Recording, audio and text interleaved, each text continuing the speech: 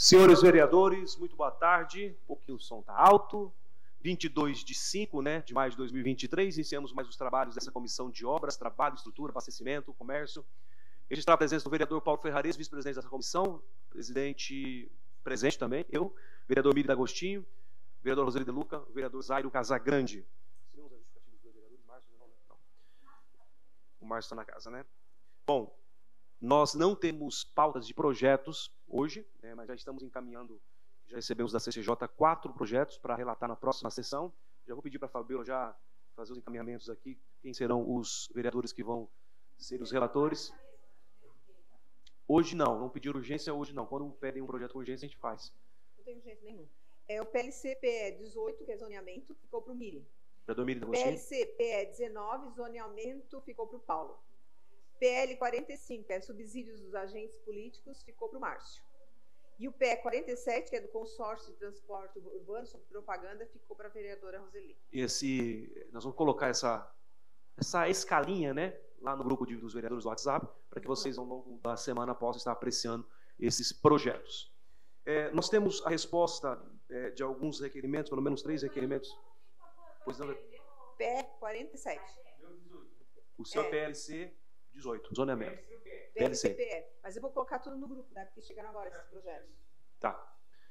É, tudo bem, vereador Roseli? Tudo certo? Nós recebemos a resposta de três requerimentos e eu, nós temos aqui um que foi um grande debate aqui nosso, que foi sobre aquela questão dos exaustores nos, nos ginásios.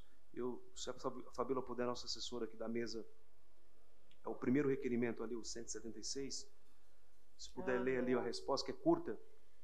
Em resposta ao memorando 1618, a, Procura, a Procuradoria-Geral do Município, em que encaminha o ofício Preze 44, requerimento 176, encaminhados pela Câmara Legislativa, solicitando a seguinte informação.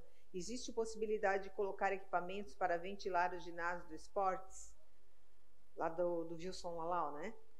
A SME em parceria com a Secretaria Municipal de Infraestrutura, Planejamento e Mobilidade Urbana, informa que a demanda que demandará estudo técnico com o escopo de verificar a possibilidade e viabilidade de instalação de sistema de ventilação nos ginásios já construídos. No mais, importa-se frisar que os projetos que ainda não foram concluídos e que estão em fase de projetar estão recebendo o sistema de exaustão eólica nas suas aberturas. Perfeito. É, nós vamos ter que acompanhar de perto essa situação, né, vereadores? E, pelo que eu entendi aqui do requerimento, da resposta, que serão feito algum estudo, um estudo técnico sobre a situação, né? Segundo aqui o Celito, da secretaria, que é o nosso secretário de Educação. É, temos mais dois aqui, mas esse aqui já está ali no grupo para vocês apreciarem a resposta, acho que não tem. Da FANCRI, né? Da FANCRI e também o outro da planejamento também. A questão da iluminação, o vereador Zairo tinha sugerido, lembra, vereador Zairo? É, esse aqui conseguimos ler? Consigo. Seria o último requerimento ali. Consigo. Está bem bem. É, cumprimentando cordialmente, venho por meio deste, é, em resposta ao memorando 1619 de 23, ofício presidente Preze 44, requerimento 179, é, através do qual nos, nos foram solicitados os seguintes esclarecimentos. Daí ali foram os esclarecimentos. Um, considerando a reposição de iluminação pública de Criciúma é terciarizada conforme o contrato estabelecido há 10 anos, porque a prefeitura está cedendo é, mão de obra para a reposição da iluminação pública? A resposta: o procedimento da reposição de lâmpadas com defeito através da mão de obra do município está sendo realizada devido à negativa da empresa para o cumprimento do mesmo sendo que foi realizada a notificação de descumprimento contratual. Ok? Segunda pergunta: como será feita a reposição dos gastos ao erário? Todo o ônus causado ao município está sendo apurado no processo administrativo de descumprimento contratual. Portanto, após a conclusão do processo, será encaminhado à Secretaria da Fazenda para providências. Ok? Lembrando que, pelo que eu entendi aqui, a questão contratual. Quebra de contrato, né? Dessa, aí a, aí a, a, a prefeitura, a Secretaria de Obras, está in, intervindo na situação para não deixar de prestar o serviço. Resposta formal, ficou registrado a sugestão do vereador Zairo, junto com essa comissão. É, por falar em Secretaria de Obras, eu vou passar para vocês aqui, nós temos uma, uma pendência com o vereador Paulo Ferrarese para a gente fazer uma visita no Horto Florestal, é, nós vamos fazer esse encaminhamento ao longo dessa semana. Se não der para essa semana, quem sabe para a próxima semana a gente estar visitando aquele local. Já até é, é, notifiquei, o, avisei o, o, secretário Tita, ele se comprometeu em estar conosco. Mas amanhã nós temos uma, um roteiro para ser feito de visita em, em obras aqui no município. Junto com a secretaria, o secretário estará conosco e também a equipe de comunicação até para a gente cumprir com o nosso trabalho e a equipe de comunicação também cumprir com o trabalho deles. Acho que vocês me entendem, né? Então o roteiro ficou assim: a gente vai fazer uma visita ao Mirante, ok? Às oito e meia da manhã, já no Mirante, a construção que está sendo feita. Amanhã é isso. É importante que todos estejam lá. É importante que todos os vereadores da comissão estejam lá. Já passa. Já vamos já é, depois do Mirante, nós estaremos indo até a, aquela, aquela obra aqui na Rua Coberta, não sei onde é que está aqui, está aqui para trás, Rua Coberta. Passamos já em seguida na Praça do Congresso, ok? São visitas rápidas, mas vamos acompanhar ali que os trabalhos estão sendo feitos ali. Sugestão do, do, do nosso do secretário de infraestrutura, de infraestrutura do município. E para a gente poder encerrar a parte da manhã ali, acredito que vai até umas 10 e meia, 10 horas da manhã, eu acho que dá para fazer isso nós estaremos lá no elevado da Via Rápida. Ok? Então são quatro compromissos que nós temos amanhã para a gente poder é, cumprir com o nosso trabalho e a comunicação cumprir com o trabalho deles. É importante, como a comunicação estará presente, cumprindo com esse trabalho, onde estão produzindo um vídeo institucional, é importante que todos os vereadores estejam presentes nessa nossa viagem. Alguém ia solicitar a palavra, não? A palavra está aberta? Ok? tudo 8h30 já no Mirante, ok? Já lá, todos lá no Mirante. Quem tiver dificuldade com o carro, vamos conversando, dá um grito aí. Quem mora na região central, o Zairo é por aqui. Vamos se ajudando, quem sabe vamos com um ou dois carros aí, vamos conversando, ok? Palavra aberta para assuntos gerais, tudo ok? Semana que vem, vereador Paulo, é... qual a palavra, vereador Paulo? Boa tarde, senhor presidente, Fabiola, vereadora, vereadores.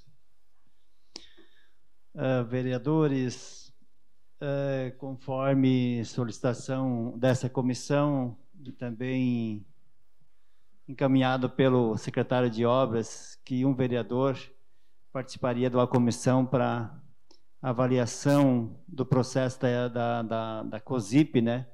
Das trocas de lâmpada na nossa cidade. E deve sair uma, ter uma reunião. Eu acho que eu fiquei o titular e, se não me engano, quem que ficou de suplente? O Márcio, vereador Márcio. Só queria sugerir, ou, ou tiver uh, uma ideia da, da, da comissão aqui, qual o encaminhamento que daremos? Claro que nós vamos ter tratativas com a própria comissão, mas representando essa casa, que é fiscalizadora, nossa comissão de obras, qual encaminhamento, é, tendo o conhecimento, que já temos parte do conhecimento através do próprio requerimento, eu acredito que, de minha parte, encaminharia é, uma denúncia ao Ministério Público pela empresa não estar cumprindo com seu papel conforme o contrato, porque se nós deixar as coisas vai se arrastando, vai se arrastando, e passa governo, termina governo e inicia governo. Só isso é uma colocação, é a minha, colocação, mas tudo que se fazer lá na comissão vai ser tratado aqui na comissão, porque somos a comissão, então temos que respeitar a comissão que eu temos. Essa seria uma das ideias, vereador Zário, você que levantou essa, essa pauta tão importante. Vereadores, essa, essa é uma pauta muito importante. Nós tivemos uma conversa logo no início, né? Vereadores vão me lembrar aqui, com o secretário Tita, né? Logo no início das nossas visitas desse ano, e ele até sugeriu algumas situações. E o vereador Paulo, de fato, ficou responsável como sendo titular dessa comissão, o vereador Márcio suplente, para representar essa casa e também automaticamente acaba representando essa comissão, ele sendo vice-presidente dessa comissão e envolvendo obras, né, é, ele está é, tá sendo bem democrático em trazer a, a, a situação para a gente, a gente está analisando. É, por favor, vereador Zairo.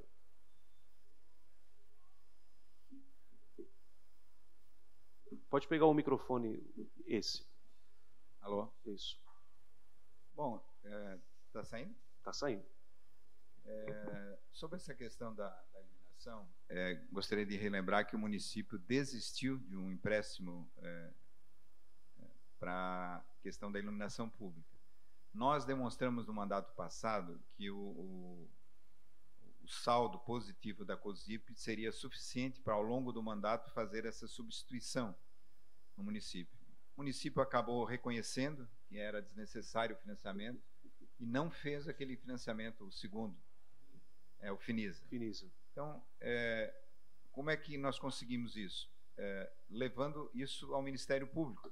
Não no sentido de é, é denunciar a omissão de, de, de, uma das partes, mas no sentido de que a, a nós, vereadores, estamos fazendo nosso papel fiscalizador, estamos atentos. Quer dizer, eu acredito que a, a iniciativa que o vereador Paulo coloca é nesse sentido, não da denúncia de, das partes, mas não, da, da, da legitimação do trabalho da comissão.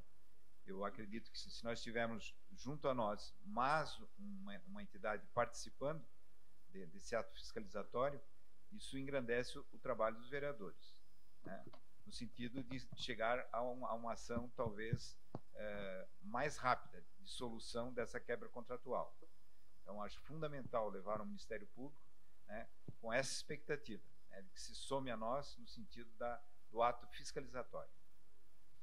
O presidente. Com a palavra, vereador Márcio. É, eu acho que a gente deveria realmente acompanhar, até porque essa questão ali, Zé, existe uma briga na justiça junto com a empresa, porque a empresa alegando a questão das substituições das lâmpadas onde está sendo trocada, a maioria delas por avarias é de vento, pedra, tiro e e aí está tendo uma divergência entre o município e a empresa. Eu sei que esse processo ele já está rodando há algum tempo, desde quando o município fez essa fez intimou a empresa a, a questionando essa situação. Eu acho que a gente poderia dar uma realmente dar uma olhada, ver como é que está já essa essa situação para a gente não estar tá criando um outro mais um uma, um outro processo que já está correndo tem? porque eu sei que isso foi tomado algumas atitudes o município tomou atitude sobre isso e aí eu sei que a resposta deles é a questão é justamente essa divergência pela questão da, da questão das varias ou acidente carro que bate no, no canteiro e essas questões todas aí que aí é onde estava a defesa deles. Com a palavra, vereador Paulo. Só, só para contribuir, eu acredito, vereador Márcio, que essa, esse questionamento e a resposta da empresa foi de forma administrativa, não é judicial. Eu acredito que é isso. Está se fazendo, uh, instaurou-se um processo administrativo com a, com a, é, Procuradoria do, do Município, Secretaria de Obras, para tratar sobre esse assunto. Agora, precisamos ouvir, claro que é isso que eu estou me referindo, ouvir a, ouvir a comissão, e lá é importante, vereador Márcio, que você nos acompanhe a hora que sair, vou estar comunicando você, e trouxemos, vamos trazer a resposta da forma que está se trabalhando, se conduzindo aqui para a comissão, também para tomar algumas decisões. Perfeito, vereador Paulo. É, assim que tiver essa, essa conclusão, nós voltamos a discutir esse tema que é muito importante. O Paulo representa não só a comissão, mas também toda essa casa nessa comissão que é tão importante. Mais algum assunto para tratar? Não havendo mais nada a tratar, declaro encerrado essa reunião da Comissão de Obras. Obrigado, vereadores.